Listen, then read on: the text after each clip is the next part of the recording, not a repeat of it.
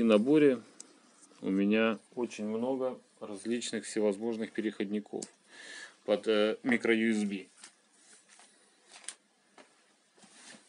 Под обычный USB. Есть э, различные переходники, на них я уже делал и обзоры, и тесты. Вот под microSD карточку переходник на USB. Micro SD карточка вставляется сюда. Переходник под USB, под Type-C. Вот. Ну, разные картридеры с собой тягаю постоянно.